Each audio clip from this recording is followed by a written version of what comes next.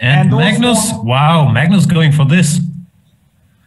Interesting. No, I think it's not Magnus going for it. It's Tari going for it, no? No, no, of course, yeah. But this is the line that has recently been. Okay, let's take it slow. So Magnus plays d4, knight f3, knight c3, this position, which he's had a ton recently.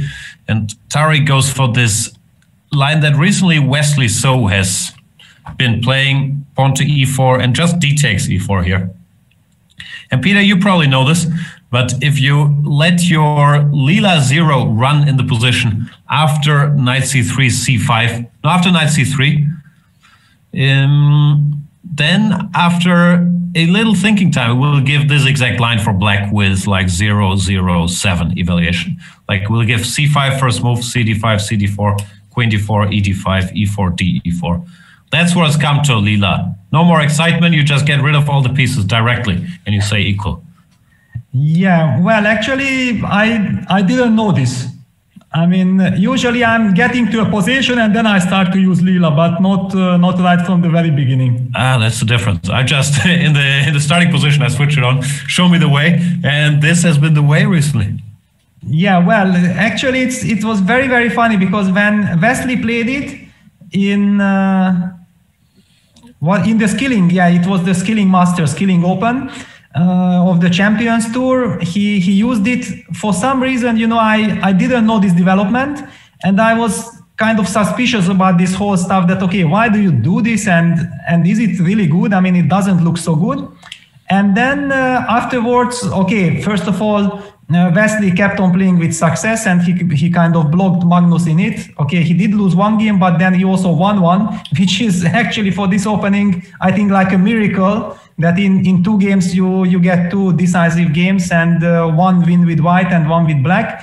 Mm, and after the broadcast, uh, I mean, we had, after Wesley won the tournament, then we had him in our broadcast and he was asking my very opinion, you know, and it was like shocking for me that, wow, Wesley treats me with so much respect that Peter, uh, probably you are a big expert of this line. I mean, what, what are your thoughts? And, you know, honestly, I, I just never looked at this. I mean, it's basically maybe one of the very few things in, in the whole chess opening history that I never ever looked at. But before seeing Wesley employed, I, I really had no clue that this exists.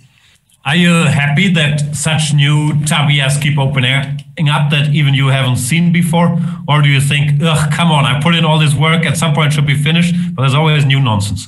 Yeah, well, I mean, it's uh, it's more like I would be more uh, thrilled if if all these new things would be somehow more more encouraging and more interesting i mean this is definitely as wesley called it might be a new berlin. And i'm not sure that uh, many of the chess fans are so happy about this.